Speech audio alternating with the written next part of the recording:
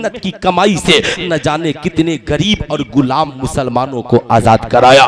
कितने गरीबों का चूल्हा अबू बकर सिद्दीक की कमाई से जलता था।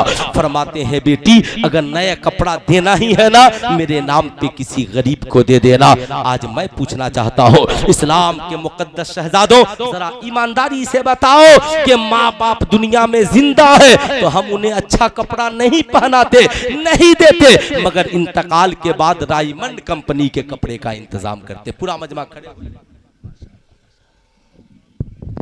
नारे तकबीर, नारे रिसालत अहले सुन्नत, हुजूर गाजी मिल्लत, हज़रत गुलाम रसूल साहब मसल के आला हज़रत, सरकार गरीब नवाज़ कॉन्फ्रेंस, फैज़ान सरकार ताजुशरिया जश्न दस्तार बंदी।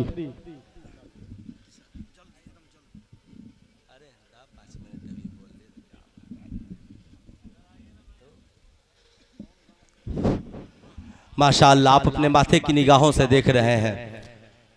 हुजूर गाजी मिलत हज़रत अल्लामा गुलाम रसूल साहब कबला बलियाबी स्टेज पर तशरीफ़ ले आए। इंशाल्लाह मेरे बाद नात खानी भी होगी, फिर हज़रत का खूबसूरत खिताब और पैगाम आप समाप्त करेंगे। मैं ये आखिरी पैगाम दे रहा था, मैं ये अर्ज़ कर रहा था माँ बाप ज़िंदा है, ईद में आप उनके लिए अच्छा कपड़ा नहीं पहनाते। बाप फटी लुंगी पहनकर ज़िंदगी गुजार रहा है, माँ फटा हुआ कपड़ा पहन करके ज़िंदगी गुजार लेती है।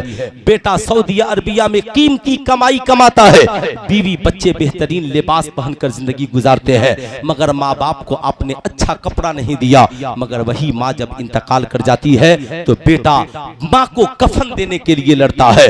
बेटा बाप को कफन देने के लिए लड़ता है और कहता है मौलाना साहब मैं भी उसी बाप का बेटा हूँ। क्या मेरा हक नहीं बनता है कि बाप के कफन के लिए कपड़ा खरीदूं? सुल्तान रजा पूछना चाहता है मरने के बाद कफन खरीदने की फ़िक्र करने वालों अगर ज़िंदगी में ही बाप को अच्छा कपड़ा खरीद के पहना दिया होता तो उसकी दुआओं से दुनिया में ही तुझे जन्नत मिल जाती। ज़िंदगी में ही माँ को बेहतरीन कपड़ा खरीद कर पहना दिया होता। तेरी माँ खुश होकर दुआ कर देती, तेरा नसीबा चमक जाता। लेकिन आज ताजुब की बात है, माँ ज़िंदा है। दवा की ज़रूरत है, बेटा डर से फ़ोन नहीं उठाता कि माँ अस्पताल में है, पैसा भेजना पड़ेगा। लेकिन वही माँ इंतकाल कर जाती है, छुट्टियाँ भी मिल जाती है। जो बेटा कभी दवा खरीद, खरीदने को तैयार नहीं होता था, मरने के बाद माँ बाप के नाम पे एक हज़ार लोगों को मुर्ग मुसल्लम और बिरयानी खिलाता है। आप उससे पूछिए कि काश माँ को ज़िंदगी में तूने बेहतरीन इलाज करा दिया होता, बेहतरीन खाना खिला दिया होता तो तेरी माँ दुनिया में ही दुआ कर देती, तेरी दुनिया भी हसीन हो जाती और आखिरत भी हसीन हो जाती। याद रखना इस्लाम की मुकदस शहजादियों, गौर से इन बातों को याद रखना, आजकल बहुत आसान है। शादी हुई माँ बाप को छोड़कर प्रदेश में आबाद हो गए। बीवी बच्चों को लेकर के चल बसे माँ बाप को छोड़ दिया। ऐसे शौहरों से उम्मीद मत रखना। अगर तेरा शौहर तुझसे कहता है कि माँ बाप को छोड़कर हम अलग रहने वाले हैं, कह देना माँ बाप को छोड़ने से पहले मुझे छोड़ दे। पूछेगा, क्यों? कह देना कि जो बच्चे माँ बाप के वफादार नहीं होते, वो ज़िंदगी में कभी बीवी और बच्चों के भी वफादार नहीं होंगे। मैं आपसे पूछना चाहता हूँ, आज लोगों का अटैक और हमला इतना है, आपने कुरान की तालीम को, साहब जक़ात फितरे का मोहताज बना दिया। हदीस मुस्तफ़ा की तालीम को जक़ात फितरे का आपने मोहताज बना दिया। अपनी कीमती कमाई से सारी तालीमों का इंतज़ाम करते हैं। मगर मदरसे में पढ़ाई कब होगी? जब साहब ये उलमाए कराम चंदा वसूलेंगे। दरवाजे दरवाजे भीख मांगेंगे। तब जाकर कुरान की तालीम होगी। मैं पूछना चाहता हूँ दुनिया में कोई किताब कुरान की तरह है तो लेकर आइए। है कोई ऐसी किताब कि मैं पढ़ूं और इंजीनियर आप बन जाइए। पढ़ूं मैं डॉक्टर आप बन जाइए। पढ़ूं मैं प्रोफेसर आप बन जाइए। पढ़ूं मैं फ़ायदा आपको हो जाए। ऐसी कोई किताब आपके पास नहीं है। जो पढ़ेगा कामयाबी उसी को मिलेगी। जो इंग्लिश पढ़ेगा, इंग्लिश ना बनेगा। जो साइंस पढ़ेगा, साइंस ना बनेगा। जो तारीख पढ़ेगा, तारीख ना बनेगा। मगर कसम खुदा की, मदरसा गरीब नवाज़ का एक हाफिज कुरान सिद्क दिल से सिर्फ़ सूरा फातिहा पढ़कर एक मुल्क नहीं, पूरी दुनिया के मुसलमानों के नाम से बख्श दे। तो मेरा यकीन कहता है, खुदा अल्लाह का करम होगा तो सिर्फ़ एक हाफिज कुरान की तिलावत की बरकत से पूरी दुनिया के मुसलमान बख्श दिए जाएँगे। मगर साहब, आपको उस कुरान की तालीमात की फ़िक्र कहा है?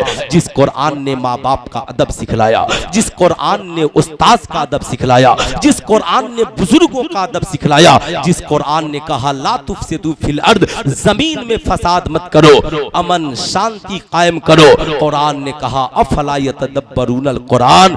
ऐ लोगों, कुरान रखते हो, मगर कुरान पे अमल क्यों नहीं करते हो? आज ज़रूरत इस बात की है, कुरान की तालीम को घर घर पहुंचाइए।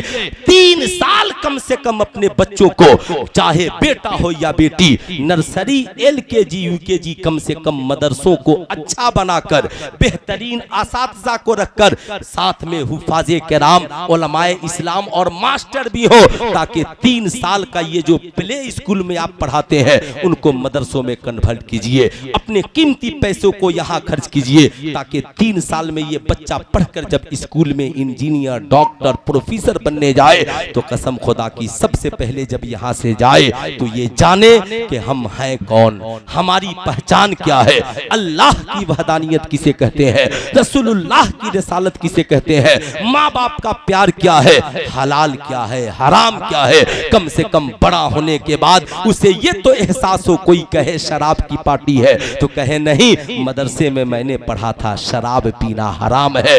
मैं वो पीऊँगा जो मेरे नबी ने पिया है। मैं वो नहीं पी सकता जिसे मेरे नबी ने मना किया है। ये सब होगा कब? जब हम सही से तालीम की तरफ़ जुड़ेंगे, तब जाकर के ये मामला सही होंगे। इनशाला ज़िंदगी बाकी, मुलाकात बाकी। ये क्रम है हुजूर गाजी मिल्लत का। हुक्म दिया, मैंने बैठकर कुछ बोल दिया। इनकी जर्रा नवाजी मेरे लिए फ़ख्र की बात है कि हज़रत के सामने मैंने जो कुछ भी गुफ्तगु की, अल्लाह ताला इस गुफ्तगु को कबूल फरमाए। पूरा मजमा मिलकर पढ़ लीजिए, अस्तगफिरुल्लाह रब्बी मिन कुल्ली ज़म्बी व अतूबु इलैहि। पढ़ लीजिए, ला इलाहा इल्लल्लाह। मुहम्मदुर रसूलुल्लाह